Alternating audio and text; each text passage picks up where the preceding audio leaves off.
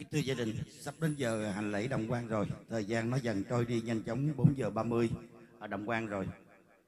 Thì à, được sự đồng ý của gia đình trao lời đến à, cơ sở mai táng nhà đồ Thành Phát Bình Dương. Thì giờ đây đứng trước án tiền gia đình cũng làm cái lễ cảm tạ trình cái lễ di quan à, của bác anh chị những ngày đêm qua và sự hiện diện có mặt tại gia đình tang lễ chiều hôm nay cũng chứng cho cái tuần dù để gia đình trình cái lễ cảm tạ làm cái lễ di quan để tiễn đưa linh cữu của em Hiếu về nơi an nghỉ cuối cùng. Lên, đứng lên.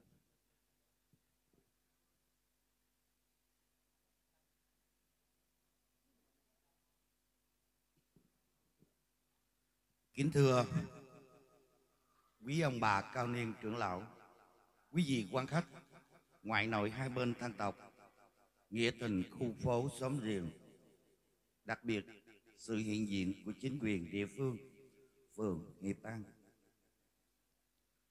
Hôm nay bên trong gia đình một nỗi mất mát đau thương rất là to lớn. Đó là đứa con gái. Từ nay nó phải chịu cảnh mồ côi cha. Một nỗi xót xa không lấy lại để gì bù đắp cho được. Con gái cố nén lại thương đau để cho linh hồn người cha mình được nhẹ nhàng an giấc ngủ nơi chính suối. Còn những đứa em khang tan để tưởng nhớ người anh của mình, Nguyễn Văn Hiếu ở tuổi 42. Em đã dấn số cuộc đời bất hạnh đã ngã xuống vì lâm bệnh em ra đi không trở lại thì cái việc tang lễ gia đình đã đón nhận rất là nhiều sự sẻ chia của bà con cô bác gần xa, cũng như là bạn bè thân ngụ nghĩa tình. Thì giờ đây, đứng trước án tiền, đứa con gái và các em của văn hiếu ra tuần rượu.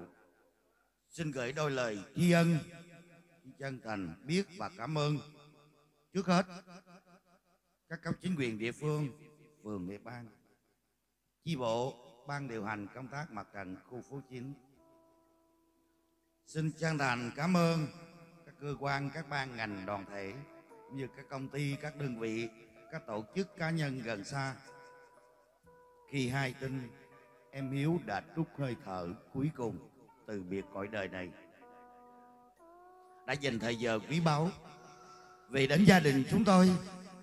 Những lời thăm hỏi sẽ chia an ủi động viên. Gia đình cũng rơi bớt đi một nỗi ưu phiền mất mát rất là to lớn này dân dòng qua kính giếng để tưởng niệm cho hương hồn của em một lần sau cuối. Thắp nén nhang ấm cúng dâng linh cho em hiếu.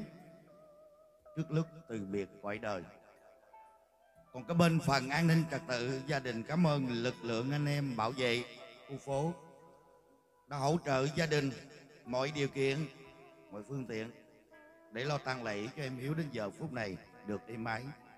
Tình nghĩa đó, nghĩa cử đó, gia đình xin xá một xá này để tri ân, cảm tạ quý vị địa phương, bà con cô bác. Cúi đầu sáng xá em. Và tiếp đến đây là tuần rượu thứ hai. Kính thưa bà con, mình sống hai thác gì cũng do thiên định mà thôi. Trần gian này nó chỉ là một cái cõi tạm. Để người đời chúng ta, mình tạm gác ghé ở đây để dừng chân khi thần chết đã gọi đến, mình phải từ từ nhắm mắt xuôi tay. Luật vô thường cũng đã định, đò âm và dương cũng đã đưa và rước không chừng.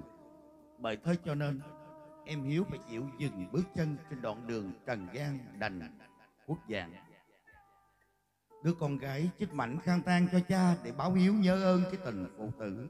Các em khang tang tình huynh về đời tình muội giờ đây phải đôi ngã chia ly cho hiếu ngậm cười để trốn suối vàng. Một lần vĩnh biệt ngàn năm. Tuần rượu thứ hai cũng gửi lời cảm ơn đến tất cả các gia đình. Trong cái tình, cái nghĩa thông gia, liên thông, bên nội, bên ngoại. Xin cảm ơn. Trên dưới trong ngoài, có chú, có bác, có cậu, có dì, có cô, có dượng, có anh, có chị. Như dịch vụ nấu ăn chị bảo chung tay kề vai với gia đình chúng tôi, cái hậu sự, cái việc tang lễ của em hiếu đến giờ phút này, cái nghĩa, cái tình nó quý nó cao lắm. Thì không làm sao gia đình đáp trả hết thăm ăn mà gia đình đã đón nhận. Để cho linh hồn của em hiếu trực giảng tây phương, một giấc ngủ thanh thản, ơn, gia đình xin đáp ơn. Nghĩa xin tạ nghĩa bằng một xá cúi đầu tạ lễ bà con, cô bác, quý vị, anh chị.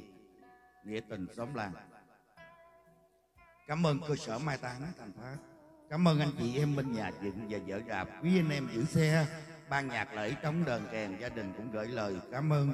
A di đà phật, kính thỉnh thầy. Một vị sư thầy đã đại giáo quan lâm. Khi văn hiếu đã ngã xuống, gia đình có thỉnh thầy về đây. Tiếng mõ hồi chuông, lời kinh tiếng gậy thầy đã tụng niệm cầu siêu mấy ngày đêm qua, để cho linh hồn của em hiếu sớm được quay gót phong lưu, dứt nợ trần ai, giấc ngủ nơi đất phật. Gia đình xin cảm ơn thầy. Và sau cùng, tuần trụ chót, gia đình chúng tôi xin đánh lễ kính thỉnh và mời trình cái lễ di quan. Dạ. 16 giờ 30 phút, lễ động di quan sẽ được cử hành. Gia đình trân trọng kính mời bà con, cô bác, anh chị em, nghĩa tình khu phố đã về đến đây phúng điếu chia buồn rồi. Giờ đây cũng dự cái lễ tiễn đưa để cho ấm cúng dông hồn của em hiếu một lần sau cuối. Đưa em đi thượng đài quả táng một giấc ngủ ngàn thu vĩnh biệt. Tan gia thì bối rối đau buồn. Chắc chắn những cái điều tiếp đón khách anh chị em bạn bè không tránh khỏi điều sai suốt có phật lòng bà con, xin thương cho gia đình và lượng thứ bỏ qua. Các em và con gái của văn hiếu tạ ơn ba xá cúi đầu tan gia đồng cảm tạ. Vâng lời đáp lễ tạ lễ của gia đình mình đã xong rồi.